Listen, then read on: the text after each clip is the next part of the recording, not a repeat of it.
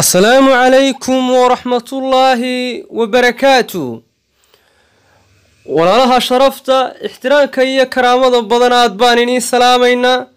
Wakhti aada u wanaagsan iyo nolol fiican baan idiin rajaynaynaa ee ku soo dhowaada. Kanaalkeennan caafimaadka ee dhegtarka caafimaadka qoyska. Muuqaalkan waxaynu ku soo qaadanaynaa. Waa qoraal uu inala wadaagay walaal ka tirsan walaalaha ku xidhan ee daawada muuqaalada aynu soo kelina kanaalkeennan caafimaadka ayaa waxa uu inoo soo diray qoraal.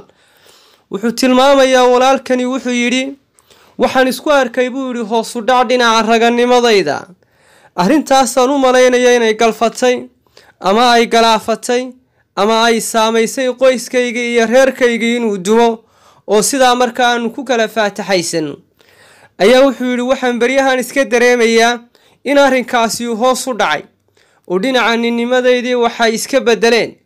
Wuxuu yidhi waxyaabo badan inkastoo aan sameeyey dawooyin fara badan aan isticmaalay dhakhaatiir badan tale aan u raadsaday haddana ilaa hadda xal aan ku nasto oo aan ku nafaxaado oo aan ku nafiso ma helin buu yidhi. Waxaan arkay buu yidhi dad aad la talinaysaan oo qoraallo iniin soo qoraya.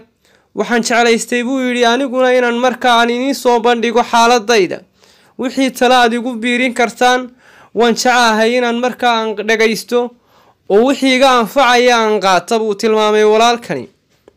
Aada buu mahadsan yahay. Walaalka qoraalkayna soo gaadhsiiyey dhinaca gmailka inooga soo diray. Dabcan waana mid u furan walaalaheen inay xilli kasta ayna soo weydiiyaan muhiimaddu waynu kaaga soo jawaabaynaa laakiin inaynu muuqaal ka soo samayno qof kasta oo qoraal inoo soo diraa waxaa laga yaabaa inaynaan qoraal uga inaynaan muuqaal uga gaadhsiin oo aynaan kilib iyo fiideo uga soo duubin. Laakiin aynu u soo reablay garayno aynu u soo jawaabno mararka qaar sida tan oo kale dhacda waynu muuqaal baynu ka diyaarinaynaa inakoo bulshada kalena uga faa'iideynayna wixii talaa iyo wixii tusaalaha iyo wixii tilmaama ee ku saabsan qeybta home remaidka ama qofku guriga uu isku dabiibayo ama guriga uu iskula tacaalayo haddaynu ku soo dhowaano talada walaalkeen iyo dabcan qaabka ay u dhacayso. Marka arrintan oo kale ay dhacdo ee markaa ninku uu dareemo ninnimadiisu inay hoos u dhacday ama markaa uu arrin noocaasa uu isku arko dabcan meelo fara badan ayaa qurux badan qofku inuu ka wareego. Dhinaca nutrationka marka la eegayo iyo jidhka awoodsiintiisa waxaa loo baahan yahay qofku inuu sameeyo intensive caring ama daryeel culus oo dhinaca jidhka waxaa kaloo la eegaa dhinaca qofka xaaladda ku hareeraysan. Waxaa kaloo la eegaa qofka jidhkiisa ma xanuun baa ku jira oo qofkan ma xanuun baaba ku sababaysa arrintan. Haddii qofka xaaladda ku hareeraysani ay tahay markaas waa situationka iyo xaaladda uu ku jiro bay-adda uu ku nool yahay markaa bay-ad saameyn ku sameynaysa ama noloshu saameyn ay ku sameynayso tusaale haddii qofku walwalsan yahay ama deegaanka uu ku nool yahay ay day deegaan markaas aanu ku faraxsanayn ama aanu habi ku dareemayn arrimahaasi waxay u baahan yihiin si salfiya in loo xalliyo. Oo qofkii haddii warwar ku jirana dhibaatada warwarka ku sababaysa in la xalliyo oo psychologically loo tiriid gareeyo oo qofkii lala taliyo. Hadday jirto xaalad markaas isaga ku hareeraysan oo dhibaato kale ka jirtana ama deegaankana inuu qofku ka wareego oo ka aagbadasho oo lagaga saaro. Haddii dhinaca jidhkiisa ay xanuuna ka jiraana in la baadho oo full diagnosis iyo analysis lagu sameeyo kadib natiijada marka ay soo baxdo xanuunka la daweeyo. Haddaba haddii aanay labadaa midna jirin oo waxa kugu sababaya arrintani ay tahay lag of nutrition inay nafaqadaada unay hoos u dhacday intan aynu imika tilmaamaynaa waa qeyb ka tirsan qeybaha laysku nafaqeeyo laakiin siyaabo badan oo laysku nafaqeeyo oo dhinaca raganimada ayaa jira. Marka laysnafaqeynayo laba goobood baa laga wareegaa. In laga wareego dhinaca medical procedureska iyo chemistiska. Yacnihii dawooyinka dhakhaatiirtu ay sameeyaan ama dhakhaatiirtu ay qoraan dawooyinka farmasisiska laga iibiyo iyo meelaha dawooyinka inta badan chemicaliska la soo mariyo ee warshadaha lagu soo sameeyo.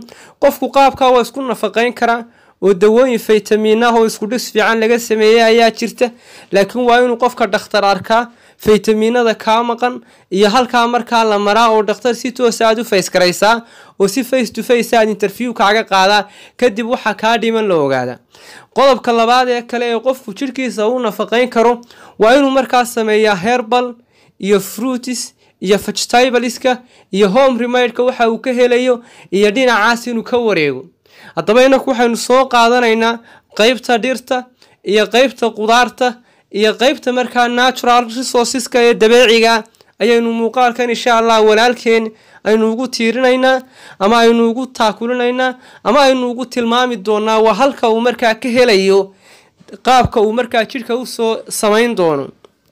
Toonta malabka iyo qudaarta cagaaran. Saddexdaas shay waxay ka mid yihiin saddex shay oo kobciya dhinaca raganimada. Waxay ka mid yihiin saddex shay oo faytamiino iyo mineralis fiican aad ka helayso malabka oo shifaa unaasa oo cridentiska uu ka samaysan yahay nutritional aada u fiican oo haddaad malab saafiya aada hesho oo weliba malabkaas uu yahay malab dabeeciya oo asliya oo fresha oo iminka soo go'ay. Haddii aad malabkaa heli karto inaad soo qaadato kadib malabka waxaad samaynaysaa subaxii ayaad malgacad barhkeed ka isticmaali doontaa hal xabo oo toona ayaad markaa qaadanaysaa aad tumaysaa inaad doonta biyaheeda isticmaasho ayaa qurux badan. Waad ku darsan kartaa iyadooad taqiijisay waad ku isticmaali kartaa. Laakiin waad u isticmaashaa waad u isticmaali kartaa labadaba biyaha muhiima inaad biyaha ka tuujiso hadday hal xabo kugu yartay laba xabo biyaheeda waad qaadan kartaa.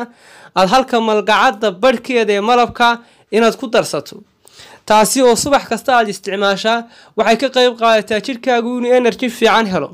Hormoonada inay stimulantis fiican ay kuu qaataan. In dhinaca raganimadaada wax badani ay iska bedelaan laakiin waad joogtaynaysaa waqti bay u baahan tahay inaad waqti markaa aad daba socoto. Qodobka ugu dambeeya qudaarta cagaaran ee cabitaan ka dhigataa ama ajuus ka dhigataa waa mid kuu muhiima gaar ahaan basasha. Caleenteeda basasha cad caleenteeda iyo basasha lafteedaba inaad ka dhigato basashu inta badan waa laba nooc. Mid waa richid waa noocaad adag ee marka aaska u kulul ee cuntada aynu ku darsanno. Midna waa basalcad baa la yidhaahdaa iyada iyo baarkeeda iyo jirideeduba way jilicsan tahay. Hafkaas iyo kulaylka faraha badanna ma laha. Waa taata faa'iidada badan ee dhinaca markaynu ka hadlayno ishuugan ama aragtidan qofka dhinaca raganimada aynu ka sheekaynayno ayay aada ugu wacantay. Waxa ay leedahay macdano iyo vitaminscrits la yidhaahdo oo ka qayb qaata inay cariyaan ama ay kobciyaan qeybta ninimada. Inaad aada u qaadato ayaa taana muhiima. Labadan wadiiqo ayaad ku xalin doontaa. Haddii aad qaabkaa kale aad dakhtarka u tagto oo dawooyinkaas markaa fiicfiican ee orgaaniga iyaguna ee markaa la ogaado la hubiya aad qaadatana waa muhiim qaybka qaabka home remideka ama guriga ku samaysanaysaana waa mid kuu bannaan. Intaas ayaynu walaalkeen taladeeda ku soo ururinaynaa waxaa su'aale iyo fikir aad qabtaan nala soo wadaaga. Waa idinka soo jawaabi doonaa. Fii amaan illah wasalaamu calaykum waraxmatullaahi wabarakaatu